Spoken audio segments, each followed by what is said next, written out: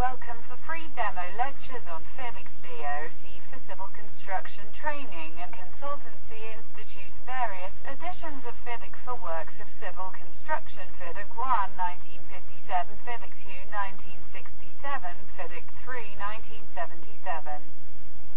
FIDIC 4 1987 FIDIC Rainbow Series I published on OR after 1995 New Red Book Civil Engineering Construction 1999 New Yellow Book Plant and Design Build for Electrical and Mechanical Plant and for Building and Engineering Works Designed by the contractor 1999 Orange Book Design Build Turnkey 1995 Blue Book Dredging and Reclamation 2016 FIDIC Rainbow Series 2 published on OR after 1995 Silver Book EPC Turnkey.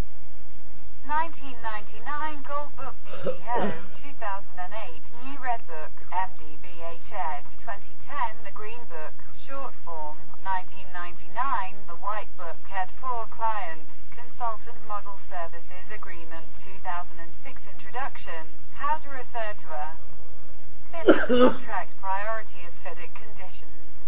Conditions of particular application. CPA Part 2B Conditions of particular application. CPA Part 2A General conditions of contract. GCC Part I Risk allocation under FIDIC 4 Risks arising from the contract are either allocated to the employer or the contractor or the insurers by the provisions of contract time and cost associated with the contractual risks clauses of FIDIC 4 allocating risks between the parties to contract entail additional costs or grant of extra time for completion or both.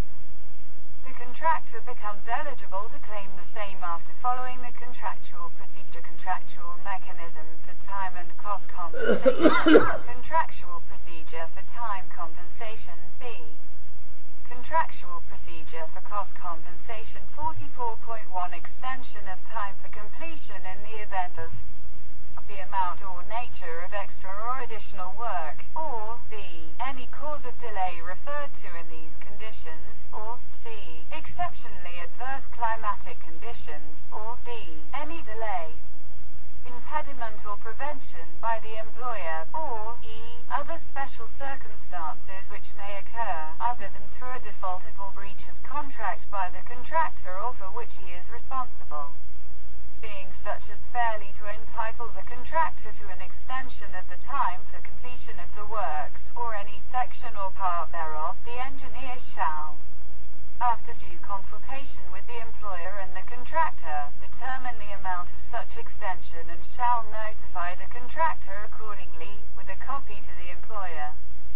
53.1 Notice of claims notwithstanding any other provision of the contract, if the contractor intends to claim any additional payment pursuant to any clause of these conditions or otherwise, he shall give notice of his intention to the engineer with a copy to the employer within 28 days after the event giving rise to the claim has first arisen. Risks taken by the employer under conditions of contract relevant conditions of contract